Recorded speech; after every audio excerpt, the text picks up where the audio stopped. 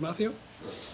Some questions about Syria, but yeah, and on, on Syria, uh, on this this most recent uh, seizure or, or uh, of, of, of peacekeepers.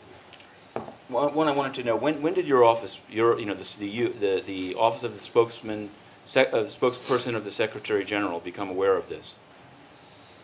Although I don't, I'm not going to discuss that with you, Matthew. We had a statement that, that came out last night as a note to correspondence, and we'll leave it at that. This seemed to come out this morning. That's why I'm asking you. There seemed to be a big gap between DPKO announcing it to, to a small group of journalists and your office, which is the official UN spokesperson's office, speaking about it. So I wanted to know what explains that gap. Well, the, the, the, the fact is that it came out in a conversation that DPKO had with a few journalists, and afterwards we issued it as a note to correspondence. Carla? Kidnapping of Carla? peacekeepers a major- Carla? Oh, I'm just One more question.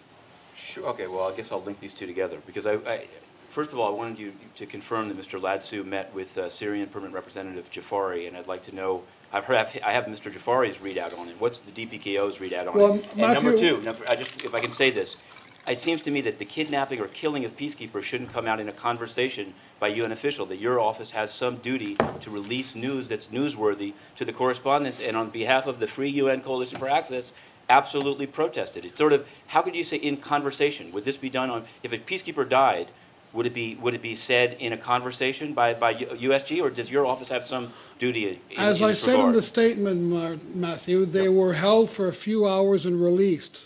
By the time we got word that they had been taken, they were released. Number two, we do not issue readouts as a normal situation on meetings between undersecretaries general and other people. Thank you very much, ladies and gentlemen. Have a good weekend.